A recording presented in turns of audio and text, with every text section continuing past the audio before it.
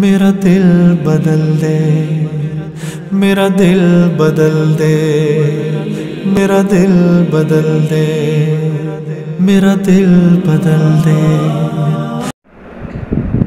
السلام علیکم class to, اسلامیہ کے سولہویں لیکچر کے ساتھ میں آپ کی ٹیچر آپ کے ساتھ ہوں آپ کی کتاب اسلامیت کی دوسری کتاب سلام آپ کے سامنے ہے اس کتاب کو سائڈ میں رکھیے اور ٹیسٹ کاپی اپنی نکالیے کل جو میں نے آپ کو اسلامیت کا ٹیسٹ دیا تھا، سب سے پہلے جو ہے ٹیسٹ لیا جائے گا، اس کے بعد پھر آگے ریویژن کلاس کلاس جو ہے وہ دی جائے گی۔ صحیح ہے؟ ہم بورڈ پر چلتے ہیں اور بورڈ پر دیکھتے ہیں کہ آپ کو میں نے کیا ٹیسٹ دیا تھا۔ اس ٹیسٹ کا آگے کا کام ہم کرواتے ہیں۔ صحیح ہے؟ یہ دیکھیں، آپ کا لیکچر نمبر سولہ ہے یہ اور آج کی تاریخ ہے چار جون دو ہزار اکیس۔ اسلامیہ ٹیسٹ کی ہیڈنگ ڈالیں۔ ڈالیں اور یہ آپ نے دو سوال کرنے ہیں۔ سبق آپ کا تھا، حضرت محمد صلی اللہ علیہ وسلم کی پرورش اور تربیت۔ اس کا سوال جو ہے وہ میں نے آپ کو دیا تھا، یہ والا بچپن ہی سے حضرت محمد صلی اللہ علیہ وآلہ وسلم کے عادت و اخبار کیسے تھے؟ یعنی کہ آپ کیسی عادت کے مالک تھے؟ بچپن میں اس کو آپ نے اس جواب میں لکھنا ہے۔ پھر سوال نمبر دو ہے، خالی جگہ کے جملے مکمل کریں۔ صحیح ہے، آپ نے خالی جگہ خالی جگہ میں صحیح لفظ لکھنا ہے۔ جو آپ نے یاد کیا ہوگا، نمبر ایک ہے آصف وسلم کی والدہ کا نام ڈیش ہے۔ صحیح ہے، آپ نے نبی کر، نبی کریم کی والدہ کا نام لکھنا ہے۔ اس کی خالی جگہ ہے رسول پاک صلی اللہ علیہ وآلہ وسلم، سب کے لیے ڈیش ہیں۔ صحیح ہے، آپ کو کیا بنا کر بھیجا گیا ہے؟ آپ آپ سب کے لیے کیا ہیں؟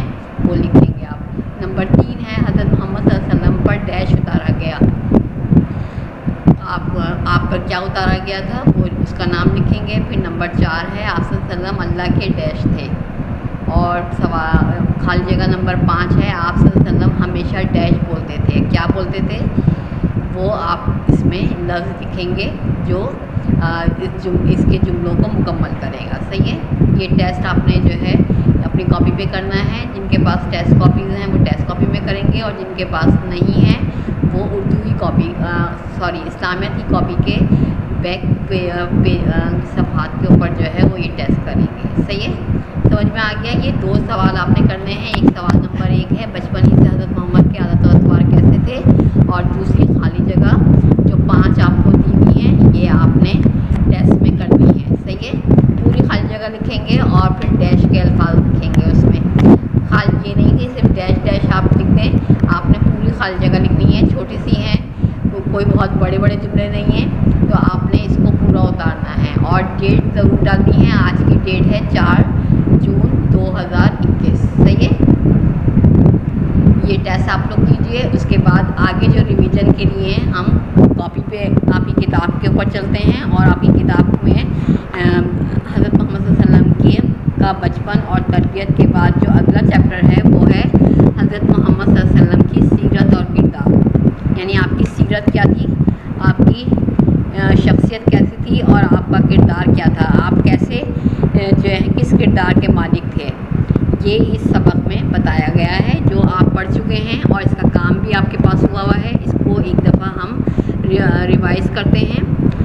قرآن مجید جو ہے، وہ سب سے بہتر کتاب ہے دنیا میں زندگی گزارنے کے لیے۔ اگر ہم اس کی تعلیمات پر عمل کریں، اس کی اور اس کی رہ، اس سے رہنمائی لیتے رہیں تو جو قرآن کا علم ہے وہ بہترین ذخیرہ ہے ہمارے پاس کہ ہم اس کی مدد سے اپنی زندگی کو گزاریں۔ اسی کیونکہ ہمارے نبی پاک حضرت محمد صلی اللہ علیہ وسلم کی زندگی کی ہر ہر بات ہمارے لیے رہنمائی کرتی ہے۔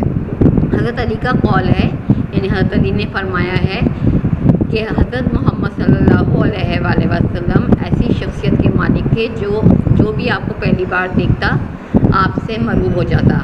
اور جو بھی آپ صلی اللہ علیہ وسلم کے پاس بیٹھتا آپ سے محبت کرنے لگتا۔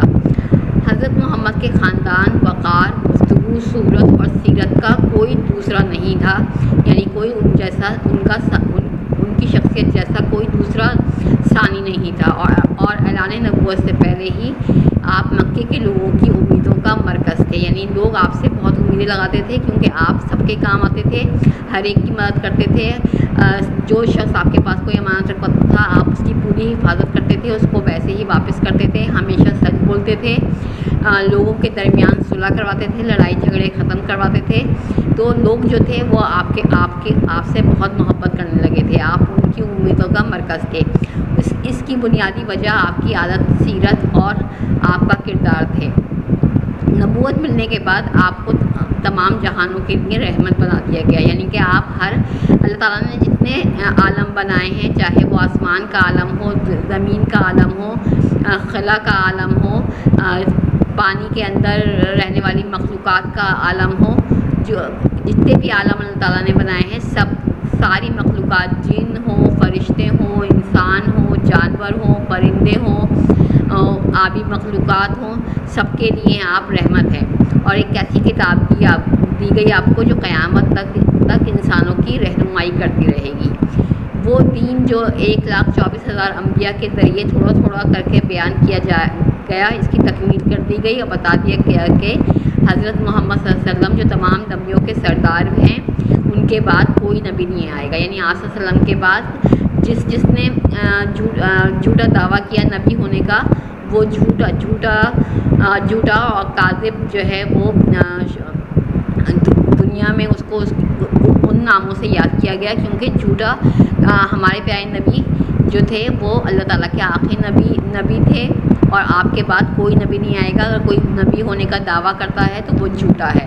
صحابہ کرام، نبی نبی کریم کے علم عمل سیرت اور کردار سے اتنے متاثر تھے کہ وہ ان کے فیصلوں، مشوروں اور دیگر اہم باتوں کو لکھ لیا کرتے تھے تاکہ آئندہ آنے والی نسلوں تک، نسلوں کے لوگوں تک بات پہنچ جائے یعنی ہم تک اور ہمارے بعد بھی جو جو لوگ پیدا ہو پیدا ہو رہے ہیں، جو اب پیدا ہو رہے ہیں اور ہمارے بعد پیدا ہوں گے، ان تک بھی پیغام پہنچے حضرت محمد کی زندگی کا کوئی گوشہ یعنی کوئی پہلو ہم لوگوں سے چھپا ہوا نہیں ہے۔ آپ نے جو کچھ بھی فرمایا، اس پر عمل کر کے دکھایا، حضرت محمد نے جو تعلیم دی، دراصل اللہ تعالیٰ کے احکامات ہیں۔ آپ کے عمل کو سنت سنت رسول کا نام دیا گیا اور آپ نے جو فرمایا اسے حدیث کا نام دیا گیا۔ اگر کوئی ایسا معاملہ آ جاتا ہے جہاں حضرت صلی اللہ علیہ وسلم کو اپنی مرضی سے فیصلہ کرنا ہوتا، تو پھر آپ صحابہ کرام سے مشورہ کرتے اور سب کی رائے سننے کے بعد کوئی فیصلہ کیا کرتے تھے۔ اگلے پیج پر آئیں گے۔ حضرت محمد کی سیرت اور کردار کے مطالعے سے ہمیں سبق ملتا ہے کہ اپنی مرضی کسی دوسرے پر مسلط نہ کریں، کسی پر ٹھوسے نہیں، کسی کو مجبور نہ کریں کہ وہ ہماری مرضی کا کام کریں بلکہ مل جل کر ساتھ رہیں اور دوسروں کی آزادی اور ان کی مرضی کو اہمیت دیں۔ غلط بات کو نہ مانیں، حق کا ساتھ دیں، برائی کو روکیں اور اچھائی کو پھیلائیں۔ جھوٹ، فریب، چوری، غیبت اور رشوت خوری جیسی عادات کو ہمارے نبی نے سخت ناپسند لہٰذا ہمیں ان سے بچنا چاہیے۔ ہمیں چاہیے کہ حضور کے اسوا یعنی طریقۂ زندگی کے مطابق اپنی زندگی کو ڈھالیں۔ یعنی جیسے آپ صلی اللہ علیہ وسلم نے زندگی گزاری، ویسے ہی ہمیں اپنی زندگی گزارنے کی کوشش کرنی چاہیے۔ سچ بولیں، انصاف کریں، کسی کے آگے ہاتھ نہ پھیلائیں، اللہ پر بھروسہ کریں اور اپنی مدد آپ کریں۔ اس و انکساری اور خوش اخلاقی کو اپنی عادت بنا لیں۔ حلال رزق کمانے کے لیے ایمانداری سے محنت کریں، رزق ضائع نہ کریں۔ رزق کو بچائیں نہیں، پھینکیں نہیں۔ کسی کے کام آ جائے، کسی بھوکے کی بھوک کو مٹائے تو اس سے اچھا کیا ہوگا؟ اور اپنی حلال کمائی میں سے ڈھائی فیصد زکوٰۃ ادا کریں۔ یہ جو ہے زکوٰۃ جو ہے وہ ہمارا ہم ادا کرتے ہیں، جو ہمارے والدین ہوتے ہیں، وہ نکالتے ہیں، جو ہمارے گھر میں پیسہ آتا ہے، وہ جو بچا ہوا پیسہ ہوتا ہے، پورے سال رکھا رہتا ہے جو پیسہ، اس کے اوپر زکوٰۃ ادا کی جاتی ہے، جو ڈھائی فیصد ہوتی ہے۔ اور ضرورت مندوں کی مدد کریں۔ کوئی غریب مانگنے آئے تو اس کو، اس کی ضرور مدد کریں، اس کو بغیر دیے جانے نہ دیں۔ برائیوں سے خود بھی بچیں اور دوسروں کو بھی ایسا کرنے کے لیے کہیں اور نیک کاموں کی ترغیب دیں۔ نیک کاموں کے کرنے کا شوق دلائیں۔ دوسروں کے حقوق اپنے فرائض کا خیال رکھیں۔ یعنی کہ دوسروں کے حق کا کا حق جو ہے نہ ماریں اور اپنے فرائض کا خیال رکھیں کہ آپ آپ کو کیا کرنا ہے۔ صحیح ہے؟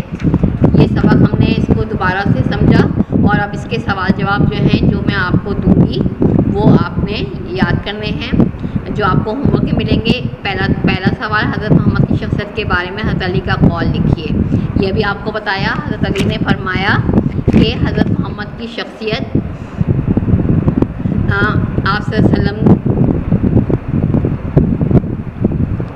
یہ آپ کو کروایا تھا کہ حضرت علی کا قول ہے کہ حضرت محمد کی شخصیت حضرت محمد ایسی شخصیت کے مالک تھے کہ جو بھی آپ کو پہلی بار دیکھتا، آپ مروب ہو جاتا اور جو بھی آپ کے پاس بیٹھتا، وہ آپ سے محبت کرنے لگتا۔ صحیح ہے؟ یہ دوسرا پیراگراف جو ہے، یہ پہلے سوال کا جواب ہے۔ حضرت علی کا قول کہ آپ کی شخصیت ایسی تھی کہ جو آپ کو پہلی بار دیکھتا، آپ سے آپ آپ سے مروب ہو جاتا اور جو بھی آپ کے پاس بیٹھتا، آپ سے آپ سے محبت کرنے لگتا یعنی آپ سے باتیں کرنے کے بعد۔ پہلا سوال یاد کرنا ہے آپ نے، پھر آپ نے دوسرا یاد کرنا ہے، انسانوں کی ہدایت کے لیے تعالیٰ نے کتنے انبیاء دنیا میں بھیجے؟ انسانوں کی ہدایت کے لیے اللہ تعالیٰ نے ایک لاکھ چوبیس ہزار پیغمبر جو ہیں ایک لاکھ چوبیس ہزار انبیاء جو ہیں وہ دنیا میں بھیجے۔ صحیح ہے؟ اور پھر میں تیسرا سوال آپ کو دوں گی کہ پانچواں سوال جو ہے یہ، ہمارے نبی کو کو کون سی عادتیں سخت ناپسند تھیں؟ ہمارے نبی کو کون سی عادتیں سخت ناپسند تھیں؟ یہ ابھی میں نے آپ کو سبق کی ریویژن کراتے ہوئے بتایا تھا۔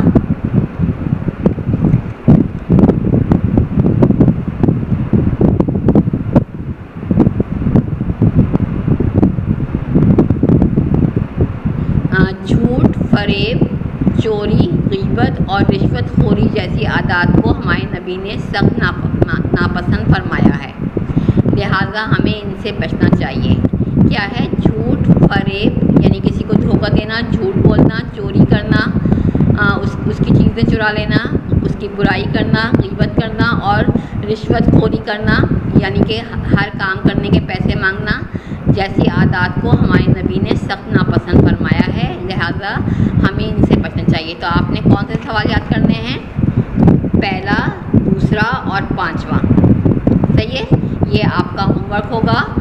اور جو ہے، جو میں آپ کو لیکچر کے بعد آپ کو ہوم ورک کی ڈائری میں آپ کو دے دوں گی۔ صحیح ہے؟ اور اب آپ کا لیکچر نمبر سولہ یہاں پر ختم ہو رہا ہے۔